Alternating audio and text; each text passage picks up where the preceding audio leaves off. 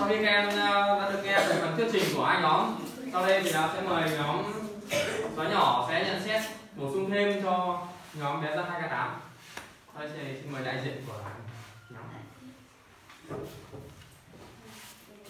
thầy là ừ, theo em nhóm ừ, theo em hai nhóm vừa trình bày cái bậc anh ừ, mỗi nhóm có ý điểm khác nhau em nhận xét ờ, nhóm ờ, à, bé ra 2 k 8 trước. Thầy là nhóm bé ra hai, ba tám có thiết kế thêm hai cầm nhóm còn chỗ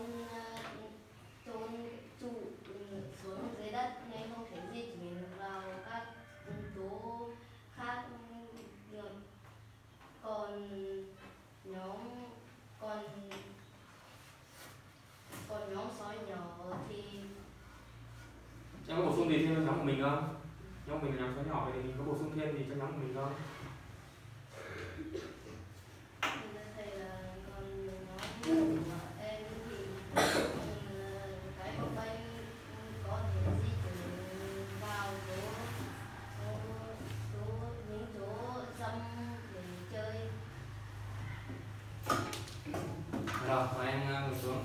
Và thì mời nhóm ờ, người ta hai cái tám là chúng ta có thể một số những cái phản biện và một số những cái ờ, ý kiến của nhóm mình của chung nhóm bạn thì mời đại diện nhóm nào. Ừ, nhóm em đã đồng ý nhất trí ý kiến của nhóm bạn, đúng không? Em có bổ sung thêm gì không? Rồi, cảm ơn nhóm em. Thế thì sau khi về các bạn các nhóm đã được ra góp ý bổ sung.